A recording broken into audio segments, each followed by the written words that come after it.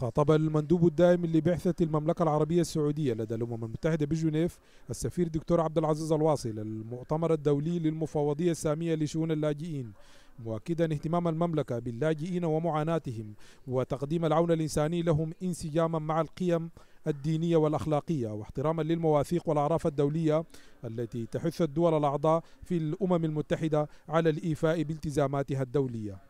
تولي حكومة المملكة اهتماما كبيرا بشأن اللاجئين في العالم ومعاناتهم وهي تقوم بدور فعال في هذا المجال من خلال المساعدات التي قدمتها ولا زالت تقدمها منذ تأسيس المملكة وانسجاما مع قيمنا الدينية والأخلاقية. السيدة الرئيسة تدعم المملكة ولا زالت مشاريعا للمفوضية السامية في عدة مناطق في العالم وفيما يخص أشقانا السوريين يتم التعامل معهم كمواطنين حيث استقبلت المملكة حوالي 291 ألف وتم منحهم الخدمات الصحية المجانية وكذلك الخدمات التعليمية. إذ تم تسجيل 114 ألف طالب في المدارس الحكومية في جميع المراحل كما تم انخراطهم في سوق العمل وتقديم التسهيلات لذلك بمنحهم الإقامة النظامية وتوفير المعيشة الملائمة لهم. وفيما يخص الأشقاء في اليمن استقبلت المملكة منذ بداية الأزمة في اليمن أكثر من 600 ألف يمني وتم تصحيح أوضاعهم للإقامة بشكل نظامي حيث تم تسجيل 285 ألف في المدارس الحكومية وتوفير الخدمات الضرورية الأخرى لضمان حياة كريمة لهم.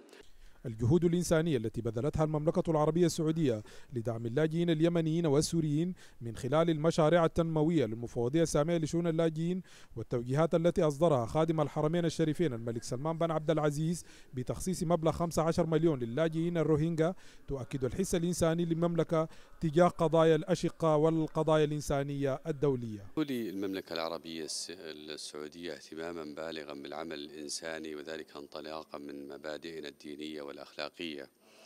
آه وكان الحقيقة ما حصل في الدول المجاورة أكبر دليل على أن المملكة تهتم بأشقائها في المنطقة آه وخصوصا بعد الأزمة السورية والأزمة في اليمن. آه نحن نعلم أن المملكة استقبلت مئات الآلاف سواء من الأشقاء السوريين أو الأشقاء اليمنيين. وأيضا قدمت لهم كافة التسهيلات التي تخفف من معاناتهم. آه نحن أيضا نقدم المملكة العربية السعودية تقدم الدعم للاجئين في مختلف أنحاء العالم. آه وآخرها كان ما أمر به خادم الحرمين الشريفين يحفظه الله بتقديم مبلغ 15 مليون دولار للنازحين من من الروهينجا. آه وأيضا كان المركز الملك سلمان للإغاثة والأعمال الإنسانية الدور الأكبر في تنسيق هذه هذه الجهود التي تبذلها المملكة. زيارة مرتقبة للمفوض السامي لشؤون اللاجئين السيد فليبيو جراندي للمملكة العربية السعودية. تؤكد مدى التعاون المشترك بين المملكة والمنظمات الإنسانية الدولية والاعتراف الدولي بالجهود الإنسانية التي بذلتها المملكة لا سيما مركز الملك سلمان للإغاثة والأعمال الإنسانية.